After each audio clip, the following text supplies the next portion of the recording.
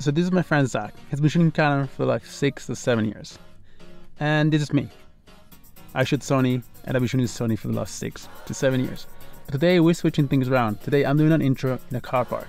And I'm gonna be shooting Canon for the whole day and Zac is gonna be shooting Sony for the whole day. I forgot to do this intro, so we're doing it now. Let's get to the video.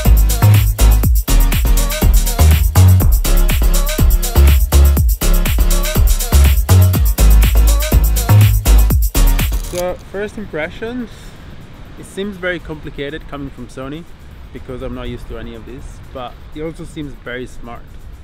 I really like the touch screen. Touch screen is definitely better than Sony. Shutter angle is cool.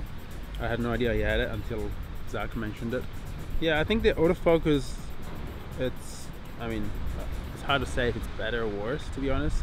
It kind of looks like it's the same thing. It just focuses when it has to focus. I think I like the grip better on Sony, honestly. Sun is rising. Maybe turn that way for a second. Beautiful. Wow. Beautiful. Yeah, so first thoughts on the, on the Canon. It is a camera that I really enjoy shooting with. Alright, so another thing that I really like uh, is that you have this tiny button called info and what it does it pretty much removes everything from the screen apart from the standby or record mode which is actually great. Sony has something very similar and I use that sometimes but it's uh, it's not as clean the screen. You always see I'm pretty sure the shutter speed and ISO and whatever info you you have like the, all the basics. And I kind of like being able to just turn this on and just purely focus on exactly what I want to be shooting just on the footage. So that's pretty interesting. Um, another thing that I gotta mention is the battery life because you know I've been shooting with Zac for a while now and he probably would need 150 batteries to shoot uh, like an hour and a half. This this thing goes through batteries like crazy and he has to always have a huge battery as a backup to constantly charge it just so he doesn't run out of juice during the shoot. But obviously it's a cinema camera so that means that it's not meant to you know have tiny batteries and you know it's more meant for the actual cinema which means that makes sense that you need a bigger battery.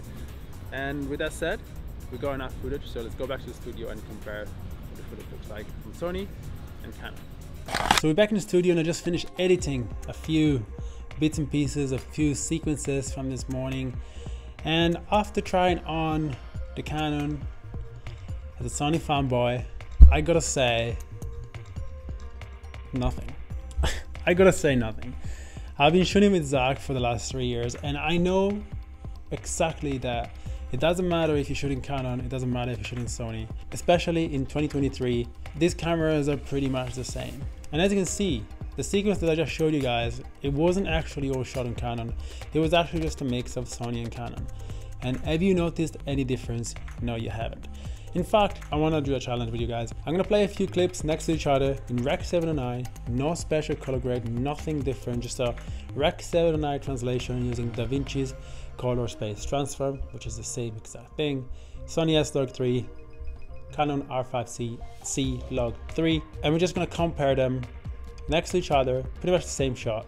And you guys are to tell me down below which one do you think it's Sony? Which one do you think it's Canon?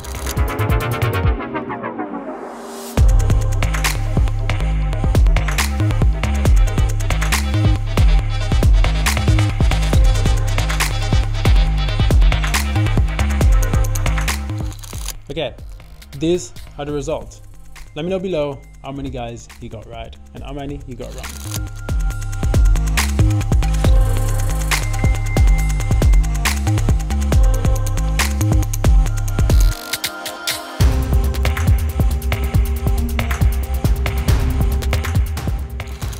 100% sure you guys didn't get everything right because I, rewatching these videos, I couldn't even tell almost which one was which because they're so similar when translated into Rec 709.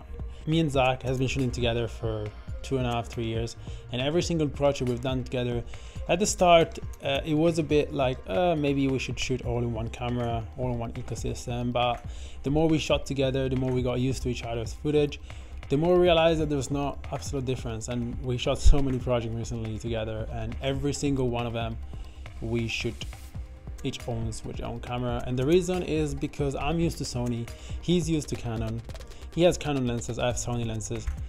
There's no reason for one of us to kind of get weaker and shoot with a different ecosystem and you know use a different camera that we're not really comfortable with so i much rather shoot with sony be comfortable with my shooting be very comfortable with changing the settings and play around and be able to get the best image possible while he's shooting canon because of the same way. So it really comes down to the way you shoot and the way you create in the end.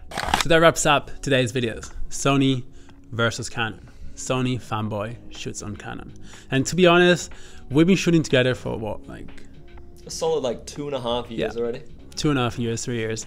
And every single project we shot together, every time we went out, went shooting for a project for fun, whatever it is, every single time we come home with different footage from Sony, from Canon, we match it like that. I just find that it's such an easy process once you learn how to match footage and I don't really see that much difference. Yes, there is difference in a little bit of colors, but it's nothing that can be fixed with a little bit of color grading.